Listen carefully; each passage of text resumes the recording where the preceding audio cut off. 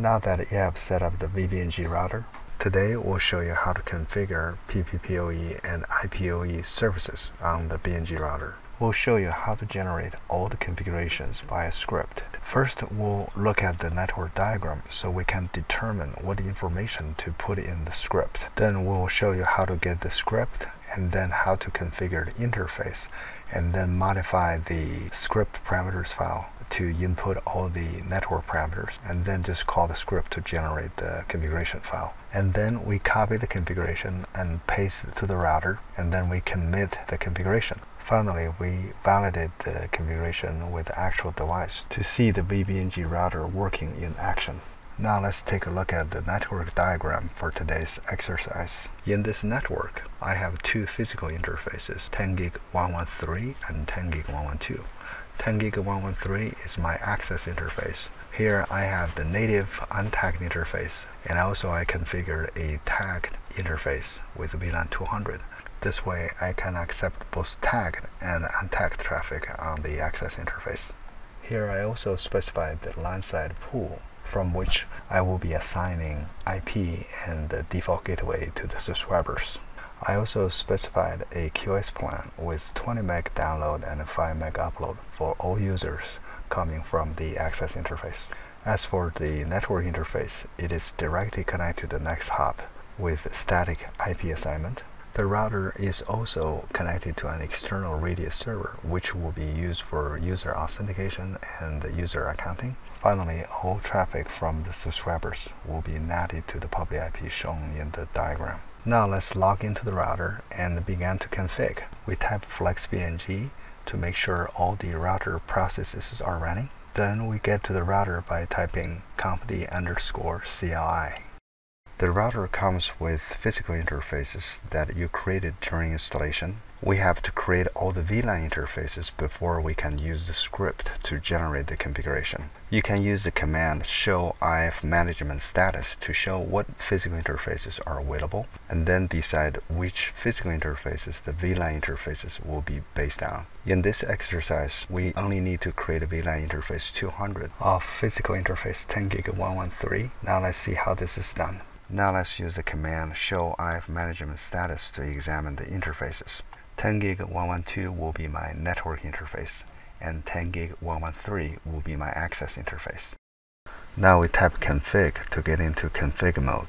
Now we create VLAN interface 10 gig 113.200, set a description and set .1q value, commit and type end to exit the configuration mode. Now let's use the command show IF management status to show the VLAN interface 10 gig 113.200 is created and up.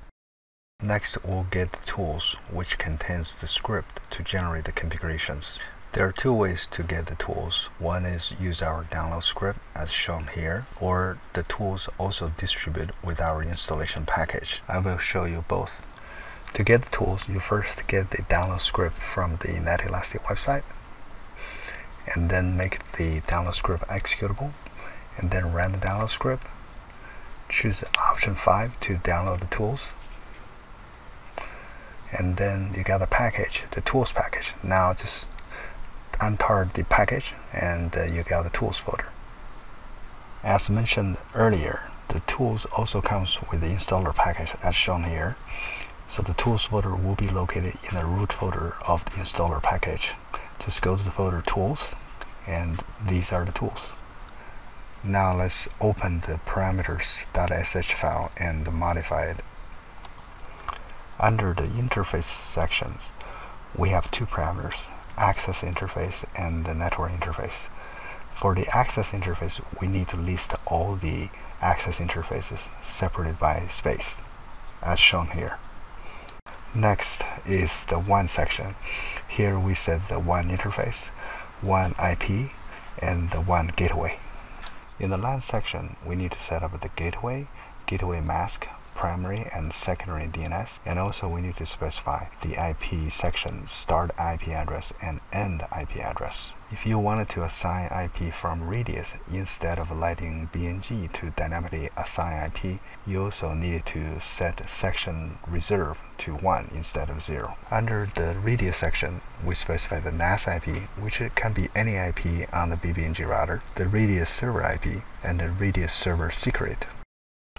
Under the QoS, you can set a download rate and upload rate.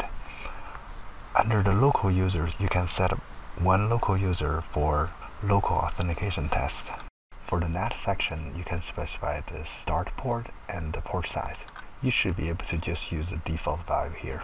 Here we do need to set the switch to 1 so we can NAT everything to the WAN interface. And we do need to change the interface to match the WAN interface name. If you want to NAT to a pool of public IPs, you need to set the switch to 0 and then define the public IP pool start and end addresses. Next, we select authentication type. Here you have three options, local authentication, no authentication, or radius. Since we're using radius, we'll just use the default radius here. Finally, we save the modified parameters file and back to Linux. Now let's generate the configuration. We use the script create vbng config to generate the configuration and we choose option 5 and hit yes and this is generated configuration.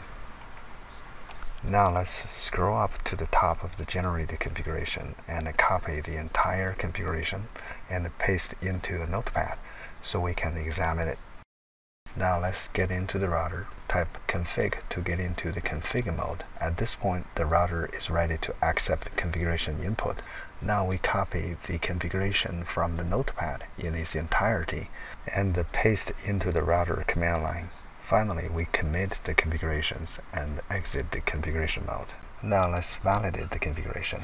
I'm going to connect the laptop to the router to simulate an IPOE connection. I turned on debug monitor and also turn on the debug IPOE off switch so that when the IPOE connection comes in, I can see the activity printed on the screen. Now I'm connecting the laptop. You will see the IPOE connection activities printed on the screen as it happens. Now let's type show SMGR session summary to show the IPOE connection is indeed established on the VBNG router. Here you can see its connection domain and its connection interface. Finally, let's use the command show SMGR session detail user to see the user session details. Here you can see the user's MAC address, the IP address, the DNS, and also the QoS plan, and other user session informations. With this, we conclude this exercise.